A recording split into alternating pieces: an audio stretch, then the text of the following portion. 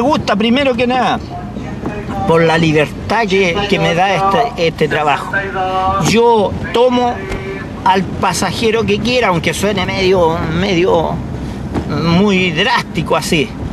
Yo tengo que darle cierta cantidad de, de dinero al dueño del auto y me desligo de todo. Yo nunca ando enojado. La gente siempre me ve positivo. La gente siempre me ve optimista. Y el grueso de mi trabajo es después de las 12 de la noche, cuando empiezan a llamarme, cuando empiezan. Temprano hago de colectivo, como colectivo. Temprano hay gente para todos. Después ya comienzan a irse los que no tienen clientela. Se van las liebres, se van las micros, se descongestiona el tránsito, todo eso. ¿Cómo no me va a gustar una pega que, que me hace que me sienta bien? Cuando uno comienza a trabajar como colectivero, le para a la persona que sea. Pero después cuando comienzan a pasar hechos como el ser cogoteado, deben ser contaditos los colectiveros nocturnos que no han sido cogoteados. Hay algunos que tienen puñalada en el cuerpo, hay algunos que tienen cortes. Afortunadamente yo se me pasaron los cortes que tenía en la mano. ¿ah? Después que vivimos la experiencia ya empezamos a innovar en el trabajo. Y ahí fue, fui llegando a hacer Madariaga colectivo. Cuéntame, cuéntame, ¿qué andáis trayendo ahí en la mochila? ¿Ah? ¿Qué andáis trayendo en la mochila? Ah, nada que ver. Cuéntame. Mi paño, ¿Ah? mi chaqueta, ¿De chaqueta qué más? instrumentos de, De, de entretención, de ten- entretención, correcto. de liberar tensiones. ¿Qué más de ahí? Pastillas. Medicamentos ¿Para, ¿Para qué son los medicamentos? para el sistema nervioso y vitaminas. Nada más. Y utensilios personales, Ya. pasta dental y cepillo dental. ¿A qué hora saliste de la casa para venirte para acá? Eh, a las 9 en cuarto va a ser exacto. Ah, no tan temprano. ¿Y te quedas hasta qué hora? Hasta, la, hasta ahora, precisamente hasta la 1 y media, 10 para las 2. Te vas. ¿Y de ahí volví a qué hora? A las 4, 4 un cuarto. Para decirte, mira, este es mi libro más especial que tengo yo. Truman Capote. Qué bueno, loco. ¿Quién era Truman Capote? Estoy leyendo recién. Y como te digo, yo soy hijo cap- capitán de Marina Mercante, primer oficial. Estoy leando vehículos en la calle porque soy independiente, no, no dependo de nadie. Tengo dos hijas fabulosas, lindas, de dos años, Bárbara Nicole y Stephanie Diller. ¿Cuál es el costo como ser humano? Tu costo por ser independiente. Ah, un caos, un problema, o sea, tener que nadie me apoye. weón. Solamente todo he tenido independientemente. Si gano dinero, tengo para mi salud, para poder estar bien de salud. De otra forma no, no tendría nada. So- Nosotros los chilenos somos inteligentes, los dejamos caer en un hoyo porque queremos. De tomar un chuzo y una pala lo podríamos llamarlo lo más bajo. Ahí somos inteligentes, podemos hacer cosas que otras personas no pueden hacer y tenemos las capacidades, tenemos buenas manos y tenemos una, inteligencia que cualquiera no la tiene. Aprendamos a hacer nuestras propias cosas nosotros los chilenos y si somos pobres, bueno, tratemos de surgir de alguna forma y, y seamos inteligentes, que la inteligencia es lo importante de todo esto, el esfuerzo. ¿Tú conversáis con tus clientes? ¿Les contáis todas tus cosas de repente? Sí, soy bien comunicativo en ese punto. Todo, todo, todo el que el cliente me lo escucha, me lo dialoga y me da de ideas. Y te paga. Y me cancela el, el gusto que yo quiero.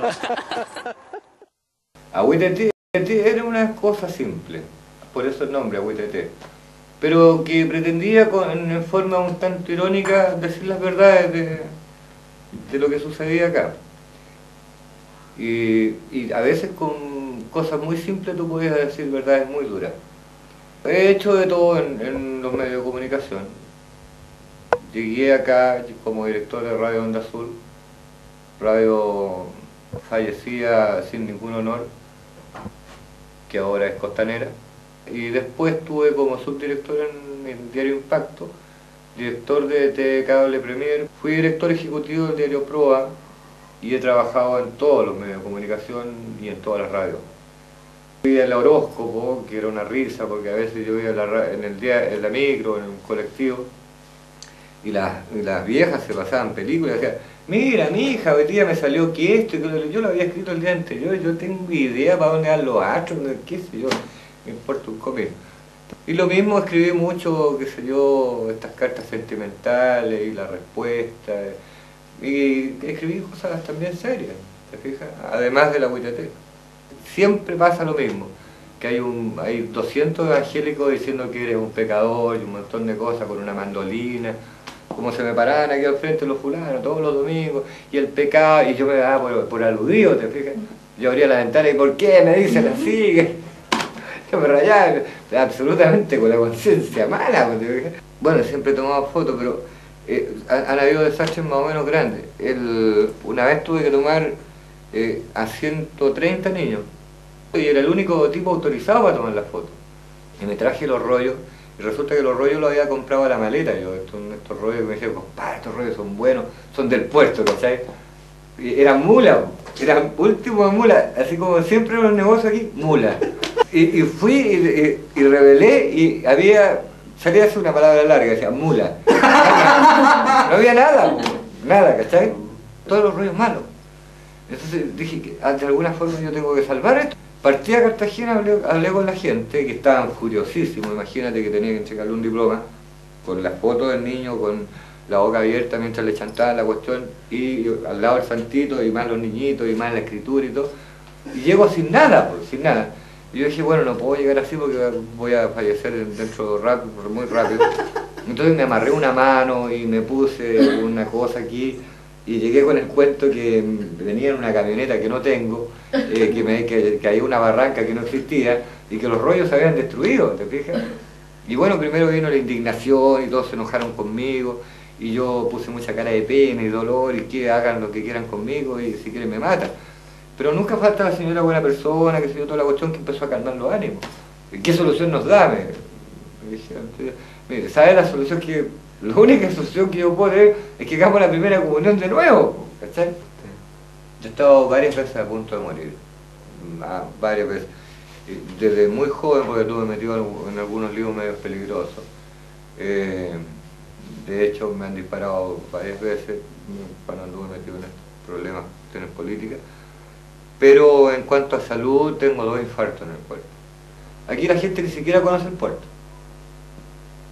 A lo más los contenedores que van poco a poco tapando la visión y tarde o temprano, no sé, yo a mis nietos le diré, mira, detrás de esos contenedores está el Océano Pacífico, no sé, algo así.